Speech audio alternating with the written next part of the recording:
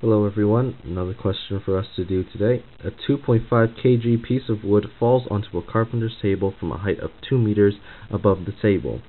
The first part of the question asks, calculate the kinetic energy of the wood as it hits the table. So here I've drawn as a diagram here.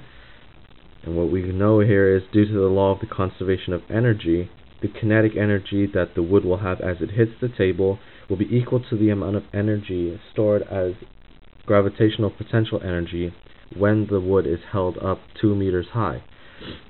So we can use our energy of gravitational potential energy equation, MGH, to find our total energy that will be conserved from when it was held up all the way to when it hits the ground. Now the second question is calculate the speed of the wood as it hits the table and well we know our kinetic energy's equation is half mv squared and we know all our other all our other variables except for our v here.